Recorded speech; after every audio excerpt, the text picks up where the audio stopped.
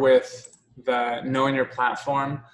The the reason why, like for instance, Instagram and let's go to this. Okay, so Instagram, it's really um, evergreen content. So you post something and it kind of just sits there, but you can't really um, engage with people in the masses unless you are using some kind of automated um, program or running um, some kind of ad.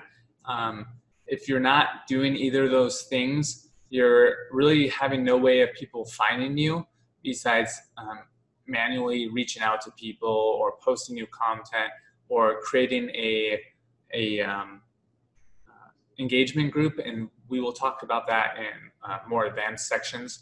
But for now, um, with Instagram, it's very pull oriented and um, or very push oriented and not very pull oriented.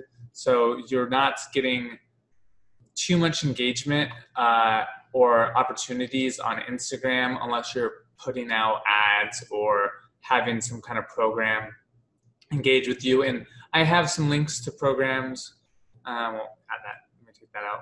Um, so we'll worry about more advanced programs later, but um, there are some uh, programs that will post automatically for you, and I will link some uh, of those programs uh, in the video notes so that you can uh, in the course so you can get a direct link to some of these um, some of these uh, tools to help with your Facebook um, or, or, sorry with your Instagram.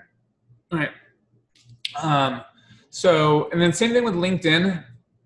With LinkedIn, it's it's similar to Facebook in a sense that uh, people will will add you as a friend and they can engage with your your your posts and that sort of thing.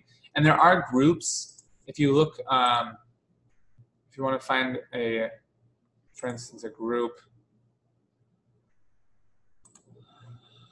Uh, you can see there's to give you an example like we go to a standard group of 13,000 people elite trainer you would think they would have a lot of engagement but i mean this was posted two hours ago zero likes zero comments uh, one day ago, zero likes, zero comments.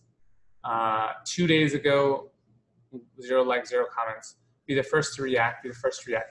So I think there could be potential um, opportunity here if you message these people one on one, but um, because there's no one really engaging with their content.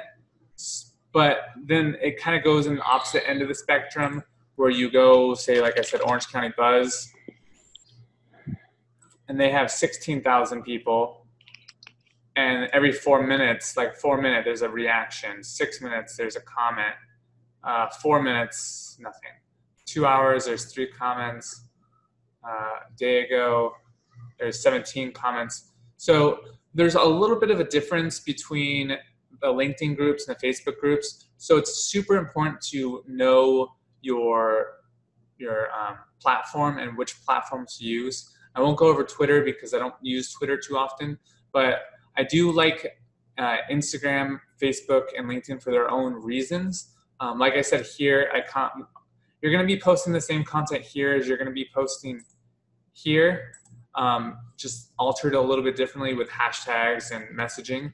But um, it's super important to make sure your your bio set up so that when you log in, you um, are taken right, right to your landing page um, like this. Uh, and then here.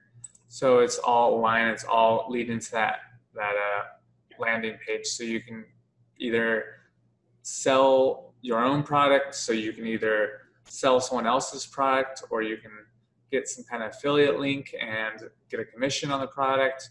There's so many different ways you can make money. So